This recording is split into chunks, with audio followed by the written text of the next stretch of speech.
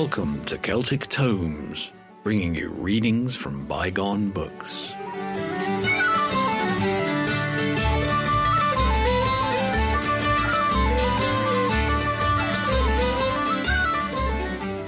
Welcome to Celtic Tomes, readings by Gary and Ruth from the classic books of Celtic lore and study. Book 2, Chapter 4 of British Goblins Welsh Folklore, Fairy Mythology, Legends and Traditions by Wirt Sikes.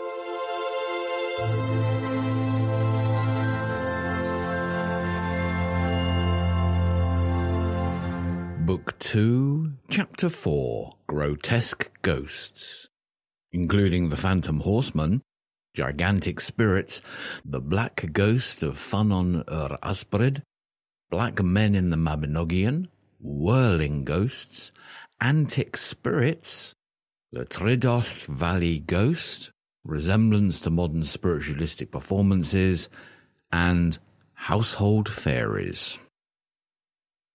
Section 1 The grotesque ghosts of Welsh folklore are often most diverting acquaintances. They are ghosts on horseback, or with coloured faces, or of huge and monstrous form, or they indulge in strange gymnastics, in whirling, throwing stones, or whistling.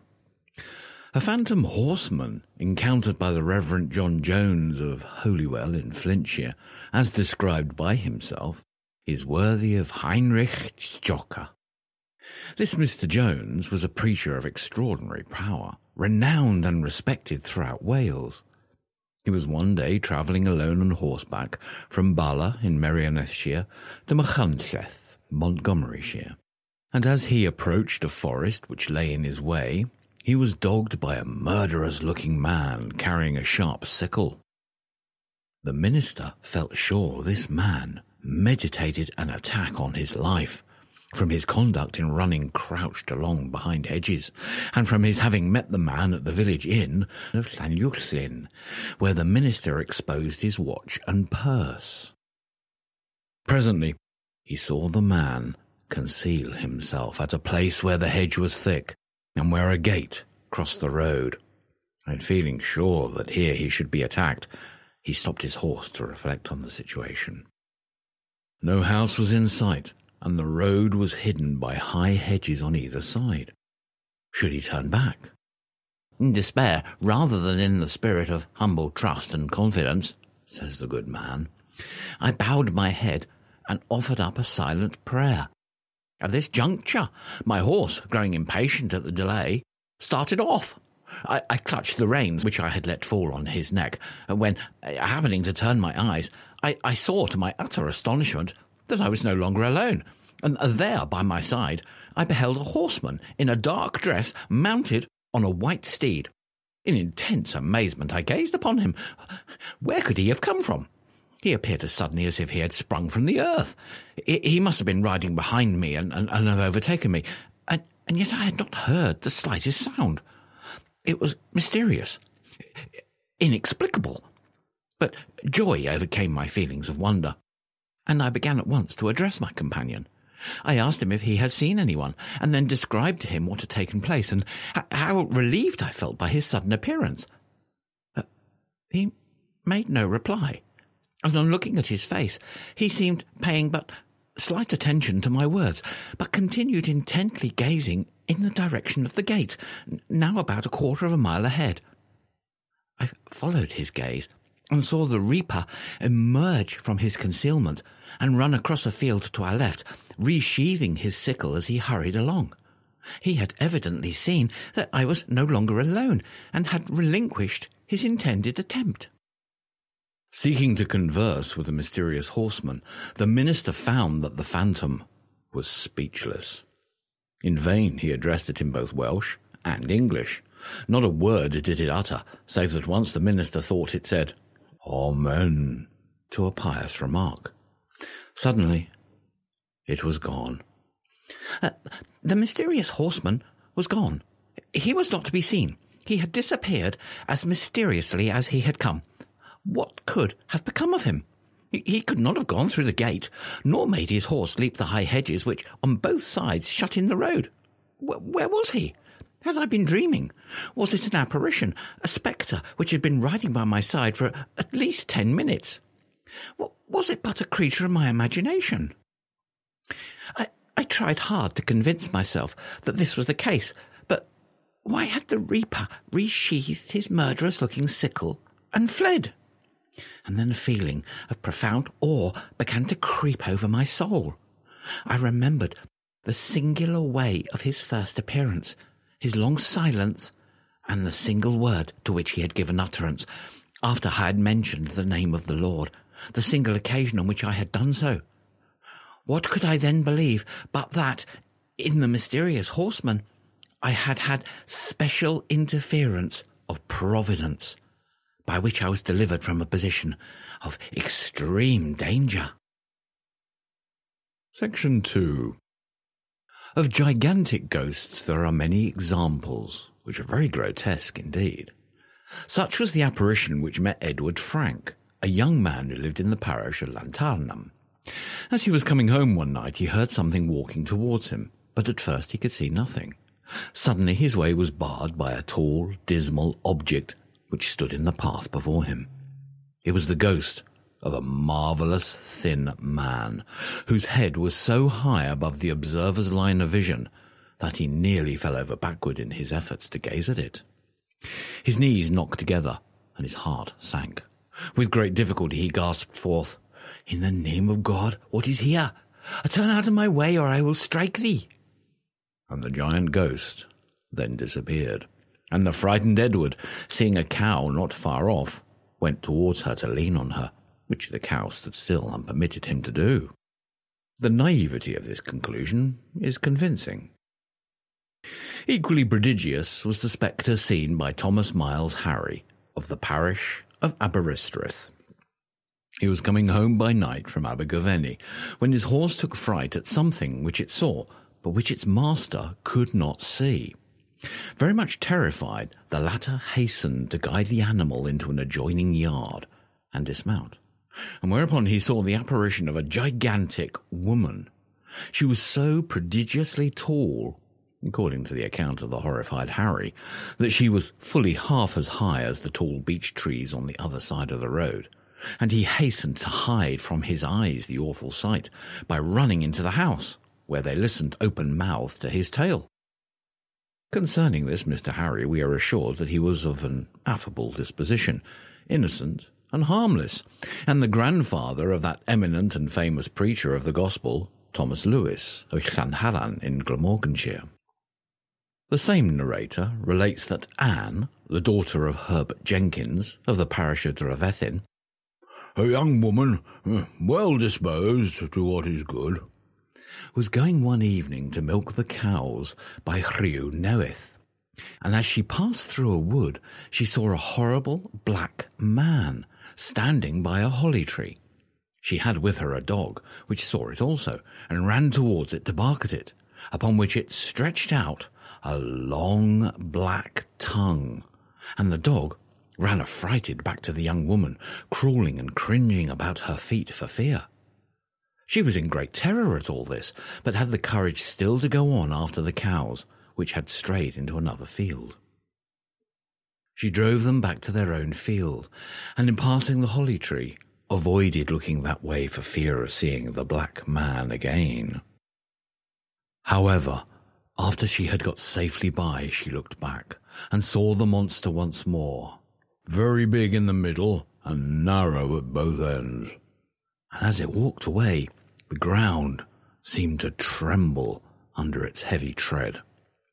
It went towards a spring in that field called Ffynon yr Yspryd, the fountain of the spirit, where ghosts had been seen before, and crossing over the stile into the common way, it whistled so loud and strong that the narrow valley echoed and re-echoed with a prodigious sound.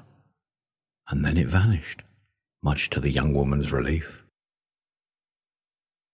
Section 3 That giants should appear in the Welsh spirit land will surprise no one, but the apparition of black men is more unique. The Mabinogion, however, are full of black men, usually giants, always terrible to encounter. The black man whom Peredur slew had but one eye, having lost the other in fighting with the black serpent of the Carn. There is a mound which is called the Mound of Mourning, and on the mound there is a Carn, and in the Carn there is a serpent, and on the tail of the serpent there is a stone. And the virtues of the stone are such that whosoever should hold it in one hand, and the other he will have as much gold as he may desire. And in fighting with this serpent was it that I lost my eye. From the Mabinogion. In The Lady of the Fountain Mabinogi, the same character appears. A black man, not smaller in size than two of the men of this world, and with one eye in the middle of his forehead. And there are other black men in other Mabinogion, indicating the extremely ancient lineage of the spectre seen by Anne Jenkins at the Fountain of the Spirit. Whatever Anglo Saxon scoffers may say of Welsh pedigrees of mere flesh and blood, the antiquity of its spectral hordes may not be disputed. The black giant of Sindbad the Sailor and the monster Woodward of Cynan alike descend from the Polyphemus blinded by Odysseus. Section 4 Another grotesque Welsh goblin goes whirling through the world. Three examples are given by the Prophet Jones. First, Lewis Thomas, the father of the Reverend Thomas Lewis, was on his return from a journey, and in passing through a field near Bedwellty, saw this dreadful apparition. To it, the spectre of a man walking or whirling along on its hands and feet, at sight of which Lewis Thomas felt his hair to move on his head. His heart panted and beat violently. His body trembled, and he felt not his clothes about him. Second, John Jenkins, a poor man who lived near Abertillery, hanged himself in a hayloft.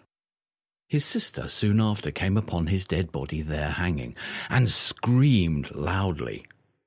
Jeremiah James, who lived in the Abertillery house, hearing the scream, looked in that direction and saw the resemblance of a man coming from the hayloft and violently turning upwards and downwards, topsy turvy, towards the river, which was a dreadful sight to a seriously godly man. Third, Thomas Andrew, living at a place called The Farm in the parish of Lanhithel, coming home late at night, saw a whirling goblin on all fours by the side of a wall, which fell to scraping the ground and wagging its head, looking aside one way and the other, making at the same time a horrible mowing noise, at which Thomas Andrew was terribly frightened. Section 5 The antics of these and similar inhabitants of the Cambrian spirit world at times outdo the most absurd capers of modern spiritualism. At the house of a certain farmer in the parish of Llanllechid in Carnarvonshire, there was a great disturbance by a spirit which threw stones into the house, and from one room to another, which hit and hurt the people who lived there. The stones were of various sizes, the largest weighing 27 pounds. Most of them were river stones from the stream which runs hard by.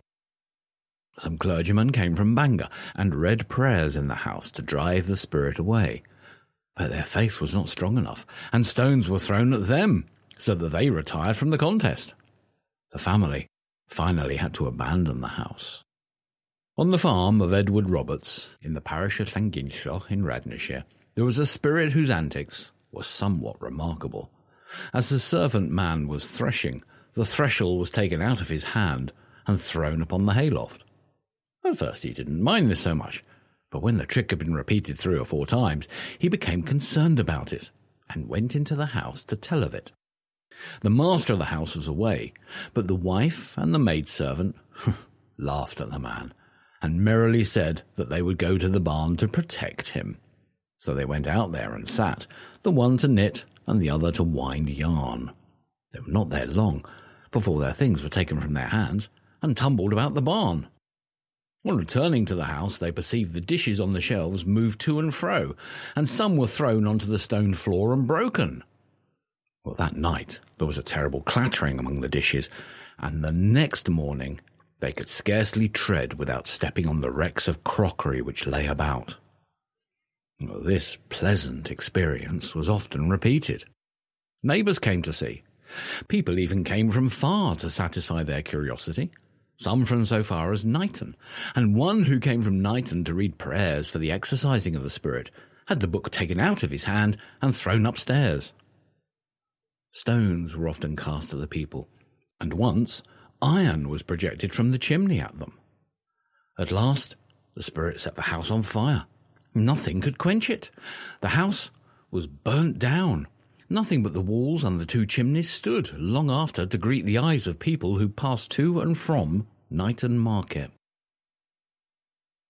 Section 6 A spirit which haunted the house of William Thomas in Tridoll Valley, Glamorganshire, used to hit the maid servant on the side of her head as if it were a cushion when she was coming down the stairs. One time she brought a, a marmot of water into the house and the water was thrown over her person. Another time there came so great an abundance of pilchards in the sea that the people could scarcely devour them, and the maid asked leave of her master to go and fetch some of them. No, said he, being a very just man. The pilchards are sent for the use of poor people. We do not want them. But the maid was very fond of pilchards, so she went without leave and brought some to the house. After giving a turn about the house, she went to look for her fish and found them thrown out upon the dunghill. well, said her master, did not I tell thee not to go? Once a pot of meat was on the fire, and when they took it off, they found both meat and broth gone, none knew where, and the pot was as empty as their own bellies.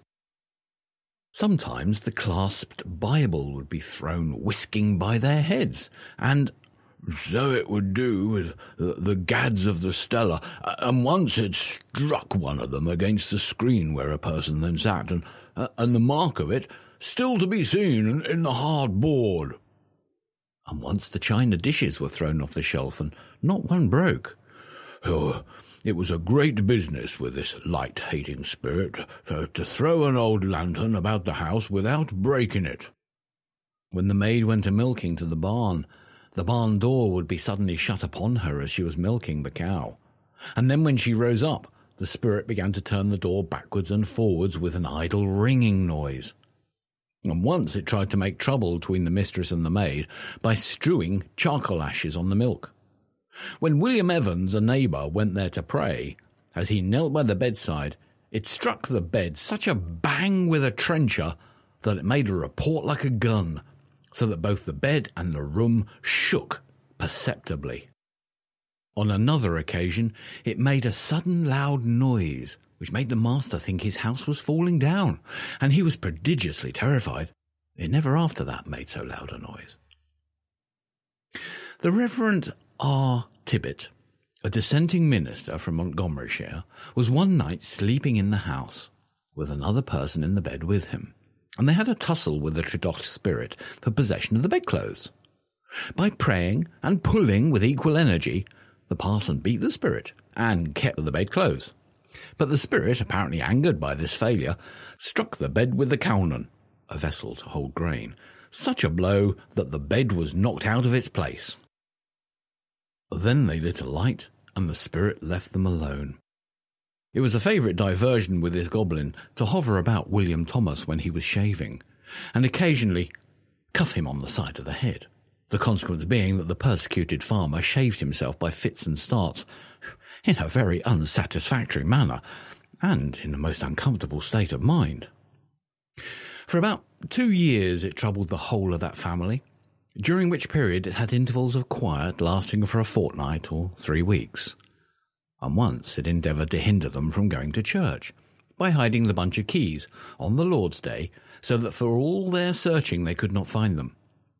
The good man of the house bade them not to yield to the devil, and as they were loath to appear in their old clothes at the meeting, they were about to break the locks, but first concluded to kneel in prayer, and so did. After their prayers, they found the keys where they used to be, but where they could not find them before. One night, the spirit divided the books among the members of the family after they'd gone to bed. To the man of the house, it gave the Bible. To the woman of the house, Alleine's Sure Guide. And upon the bed of the maidservant, whom it was specially fond of plaguing, it piled a lot of English books, which language she did not understand. The maid was heartily afraid of the spirit, and used to fall on her knees and go to praying with chattering teeth at all hours of the day or night. And prayer this spirit could not abide. When the maid would go about in the night with a candle, the light thereof would diminish, grow feeble, as if in dampness, and finally go out. The result was the maid was generally excused from making journeys into the cellar or the garret after dark, very much to her satisfaction. Particularly did this frisky Tridoll spirit trouble the maidservant after she had gone to bed. In winter, hauling the bedclothes off her. In summer, piling more on her. Now, there was a young man, a first cousin to William Thomas, who could not be got to believe that there was a spirit at his kinsman's house, and said the family were only making tricks with one another. Very strong he was, a hero of an unbeliever, like many of his brethren in infidelity. One night, William Thomas and his wife went to a neighbour's wake and left the house in charge of the doubting cousin, who searched the place all over and then went to bed there, and no spirit came to disturb him. This made him stronger than ever in his unbelief. But soon after he slept there again, when they were all there, and before going to bed he said aloud to the maid, If anything comes to disturb the alley, call upon me as I lie in the next room to you. During the night, the maid cried out that the spirit was pulling the clothes off her bed, and the doubting cousin awoke jumped out of bed and ran to catch the person he believed to be playing tricks with the maid.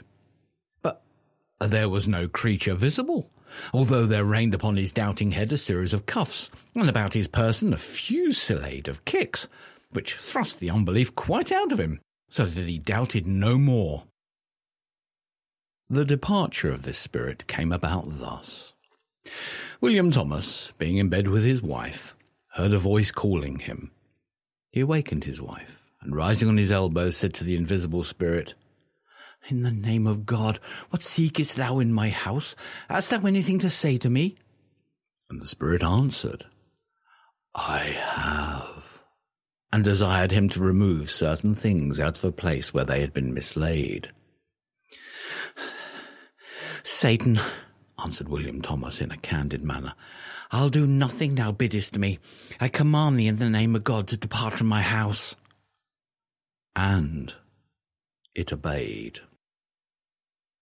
Section 7.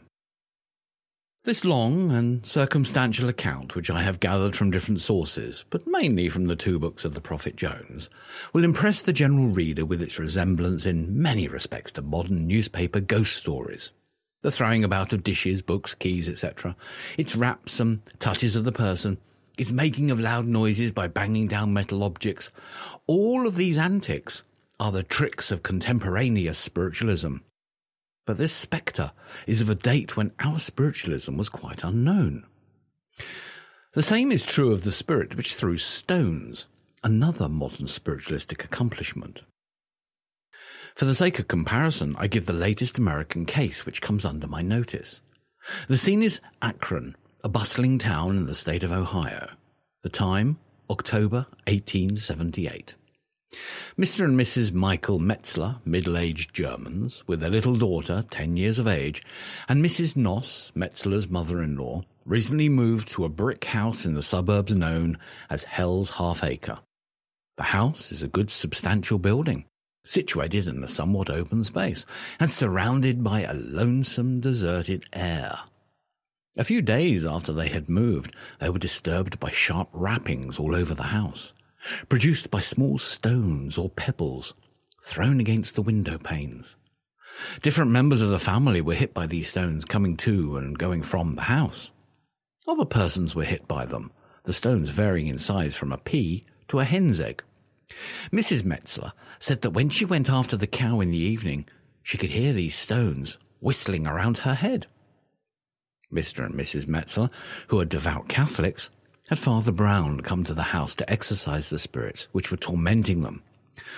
The Reverend Father, in the midst of his exercises, was struck by a stone, and so dismayed thereby that he went home in despair. From a newspaper account.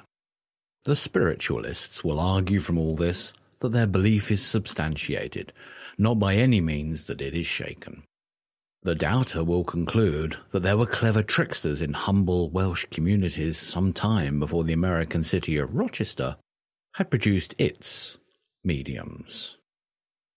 The student of comparative folklore, in reading these accounts, will be equally impressed with their resemblance to phenomena noted in many other lands. The conclusion is irresistible that we here encounter but another form of the fairy which goes in Wales by the name of the Bwbach. In England it is called the Hobgoblin, and in Denmark the Nis, and in Scotland the Brownie. Also, the resemblance is strong in all stories of this class to certain of the German kobolds. In several of these accounts of spirits in Wales appear the leading particulars of the kobold Hinzelmann, as condensed by Grimm from Feldman's long narrative. There is also a close correspondence to certain ghost stories found in China.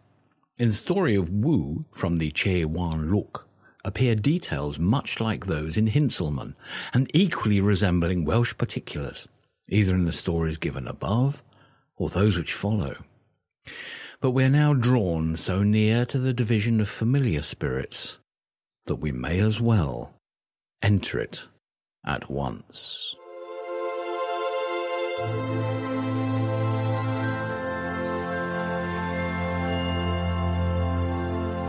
That was Book 2, Chapter 4 of British Goblins Welsh Folklore, Fairy Mythology, Legends and Traditions by Wirt Sikes.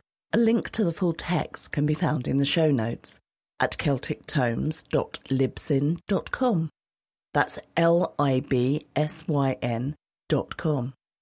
You can also find all of the names, place names, and other non English words written down for you in the show notes in the order in which they appear in this reading. If you'd like to comment on this chapter, pop over to our show notes and join in or start a conversation. If you've enjoyed this podcast, why not try our sister podcast, The Celtic Myth Pod Show, which brings the stories of ancient Celts to life with narrative and drama, as well as bringing you modern Celtic music, stories, and information. Find The Celtic Myth Pod Show in all the places where the best podcasts hang out, or on our website at CelticMythPodShow.com. You've been listening to Celtic Tomes, read by Gary and Ruth. Our theme music is Gander in the Pratie Hole by Slauncher, and a link to their music can be found in the show notes at celtictomes.libsyn.com. This podcast has been produced by the Celtic Myth Show.